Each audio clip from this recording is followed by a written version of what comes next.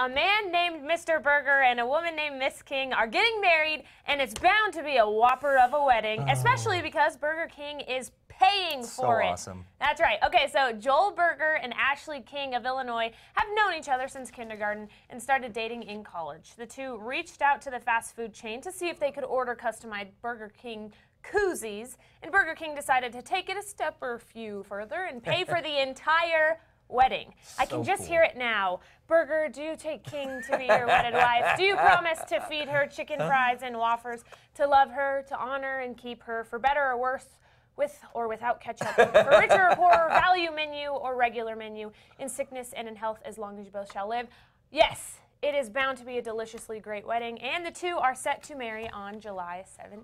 All right, so here's the thing, you know, and, and we talked a little bit about it earlier uh, on, on KRQE this morning. Is Burger King going to cater?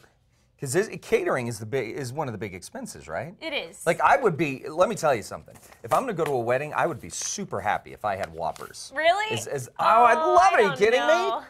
Or the what is it? The the burger their their, their version of the Big Mac, Mm-hmm. the Big King, I think is what it's called. I would be so happy.